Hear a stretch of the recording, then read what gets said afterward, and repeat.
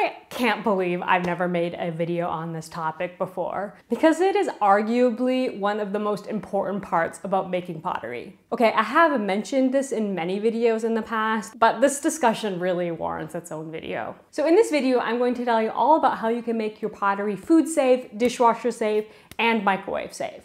And this all has to do with vitrification.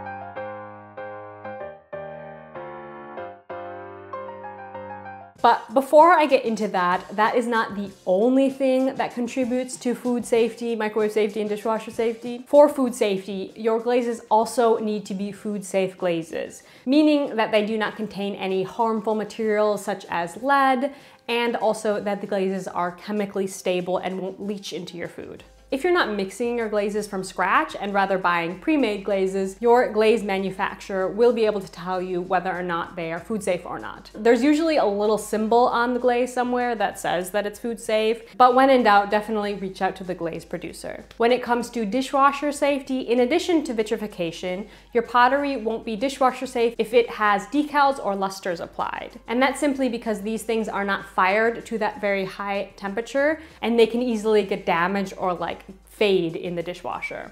As for microwaves, the main thing you want to look out for is lusters because you do not want to put metal in the microwave and there is metal content in these metallic glazed lusters. But none of these things matter if your pottery is not vitrified. So what does vitrification mean? Digitalfire.com says it best, vitrified ware has been fired to a high enough temperature to impart a practical level of strength and durability for the intended purpose. In simple terms, that means that your clay has been fired high enough to be practically watertight. This is the point that your clay has achieved the desired amount of porosity. Your ceramic does not technically need to be at 0% porosity to be considered vitrified. This all depends on your clay and your pottery's intended use. For example, stoneware clay may be considered to be vitrified at 1.5% porosity, whereas porcelain may be 0% and earthenware all the way up to 3 to 5% water absorption. By the way, if you're wondering how these percentages are calculated and how you can do it yourself at home, what you need to do is weigh your pottery precisely Make a note of that and then boil your pottery in water. What that's going to do is it's going to force your pottery to absorb as much water as it possibly can hold and then you want to weigh it again. Compare these two weights and that's how you calculate your percentage of porosity. So we're gonna test the porosity of this little cup here. Welcome to my kitchen. Please excuse, we're mid, mid renovation still. So I'm gonna fill this pot with boiling water.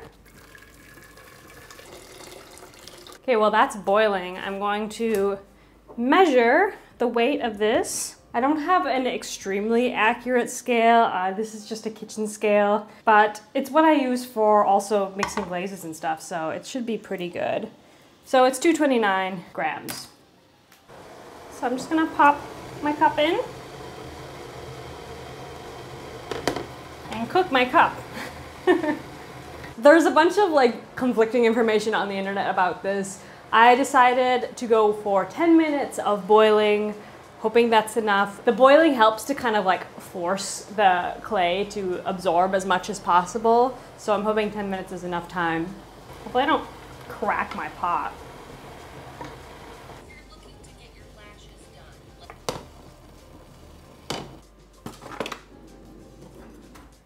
This is my strategy for getting it out without burning myself.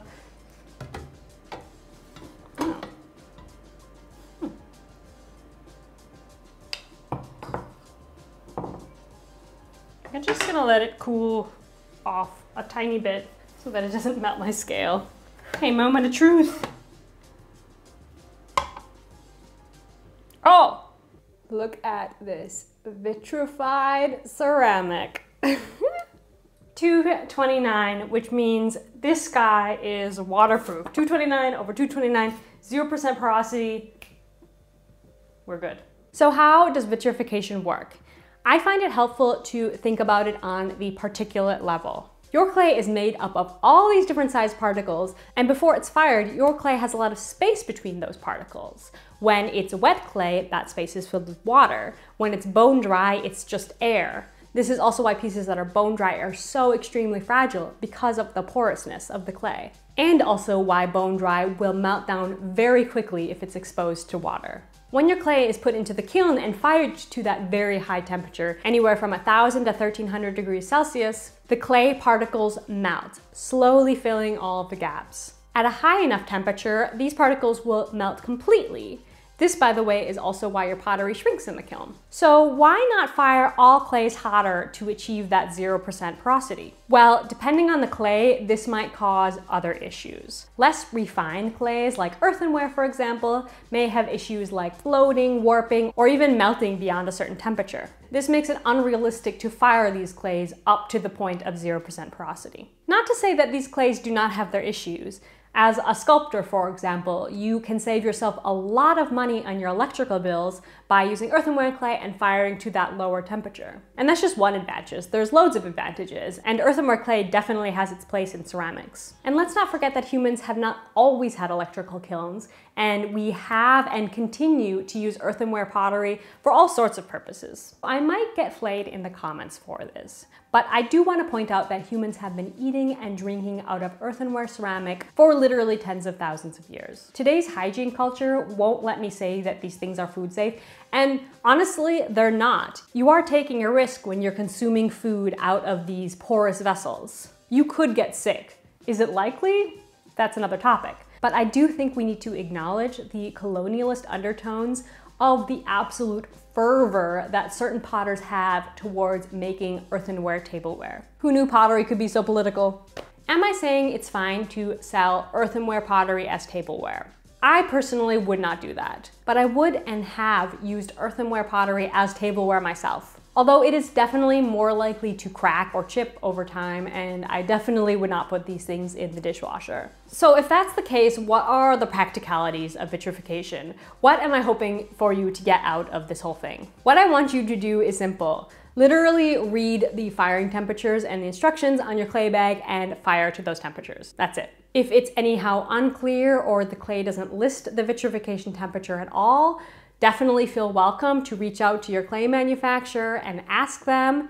Anyone who doesn't know the clay vitrification temperature of the clay that they're selling, I would not buy from them. So how does vitrification affect food safety specifically? Simply said, if your tableware is porous, it will absorb water and that will bring food particles with it. Over time, these particles may rot and that mold can leach into your food. That's it. That's why unvitrified ceramic is not considered food safe. But why shouldn't you put unvitrified ceramic in the microwave or the dishwasher? Think about your unvitrified ceramic like a sponge.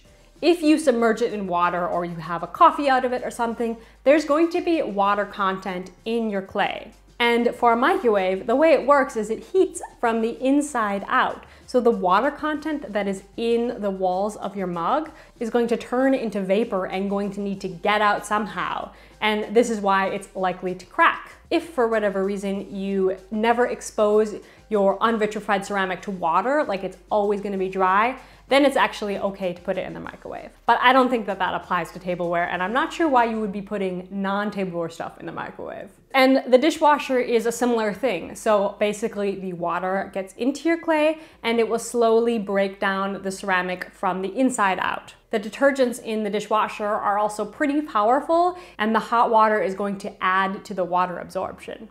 Now, is putting earthenware ceramics in the dishwasher or the microwave going to explode and destroy your appliance? Probably not, but it is going to definitely decrease the life of your ceramics. Now, a little bit of water absorption is considered fine. This is why potters typically consider stoneware to be dishwasher, microwave, and food safe. 99% of the ceramics that I use at home are stoneware and I put them in the dishwasher every day. I'm pretty sure you do that too. And I don't just mean handmade ceramics, like most industrially factory made ceramics is also stoneware. So basically it's a spectrum of risk. Is porcelain going to be the safest thing to put in your dishwasher? Yes, it's probably going to hold up longer than stoneware will, but that's true in general. Porcelain is a more dense and strong ceramic, so that's true about everything, dropping it on the floor included.